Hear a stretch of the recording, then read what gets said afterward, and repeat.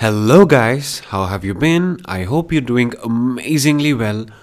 Um, well, time comes, you want to buy the M1 MacBook or you probably already have.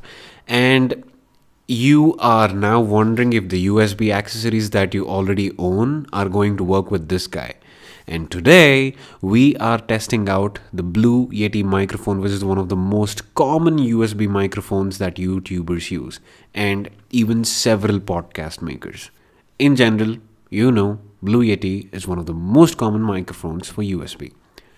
So what I'm going to do here is connect the Apple USB-C to USB adapter to the Mac and then connect my mic to this.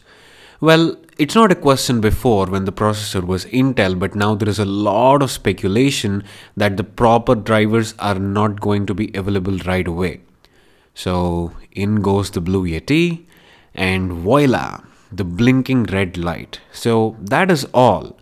And in case you're wondering if the audio is recorded properly, the audio for this video has been captured using the Blue Yeti on the MacBook Air. So if the compatibility of this microphone is keeping you on the fence on getting an M1 MacBook, by all means, just go ahead and get one. Don't worry about the drivers. All you have to do is get the Apple adapter for USB-C to USB. I hope I helped you make a decision. Thank you so very much for watching and have a lovely day ahead. Peace.